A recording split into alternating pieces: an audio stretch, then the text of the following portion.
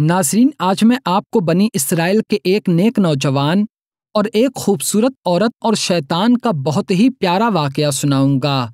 असलकम वरहमतुल्लाहि वबरकातुहू। मैं मोहम्मद मुस्लिम रज़ा हशमती, आप देख रहे हैं शिफा नेटवर्क। लाखों करोड़ों दरुदो सलाम हो रसूल करीम सल्लल्लाहु ताला वसल्लम पर, आपकी आले पाक और आपके प्यारे असहाब पर।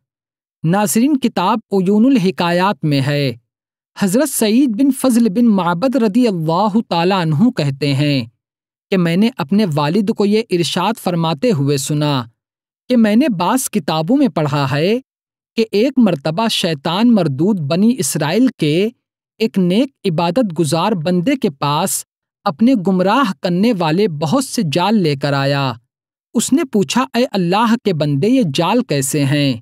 शैतान मलून बोला अय नेक शख्स, मैं मुफलिस और गरीब हूँ। न तो मेरे पास कोई खाने की चीज़ है और ना ही कोई कमाई का ज़रिया है। मैं घूम फिरकर कमाई तलाश करता हूँ। फिर जब मुझे भूख लगती है तो इन जालों में से एक जाल में नसब कर देता हूँ और परिंदों का शिकार करके खा लेता हूँ।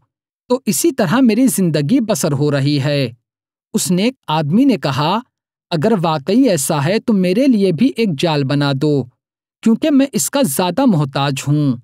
शैतान ने कहा, ठीक है, मैं तुम्हारे लिए एक बेहतरीन जाल बनाकर लाऊँगा। ये कहकर शैतान वहाँ से चला गया। रास्ते में उस नेक आदमी को एक घर के करीब हसीनो जमील औरत नज़र आई। औरत ने उस नेक आदमी से कहा, मुझ पर एहसान करो। मुझे मेरे शौहर का ये खत पढ़कर सुना दो। उस नेक शख्स ने कहा, लाओ खत मुझे दो।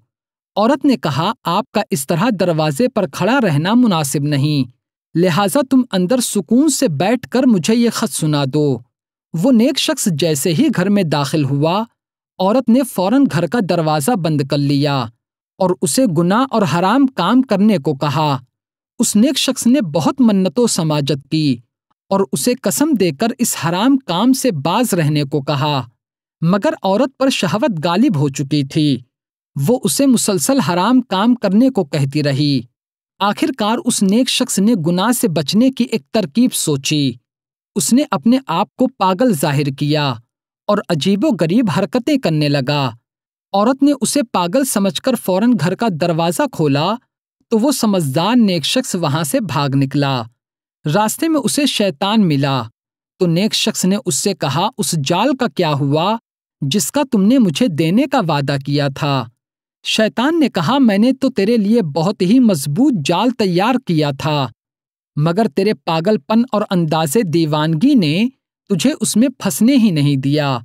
जब उस नेक शख्स ने शैतान की ये बात सुनी तो वो गुनाह से बचने पर अल्लाह ताला का शुक्र अदा करता हुआ अपने घर की जानिब चला गया। तो नाजरीन, आपने सुना कि शैतान किस तरह लोगों को गुमराह करता है?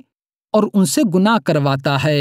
अल्लाह तबारक व हम सबको शैतान मरदूत के फितनों से महफूज फरमाए और ईमान पर ज़िंदगी और उसी पर मौत नसीब फरमाए।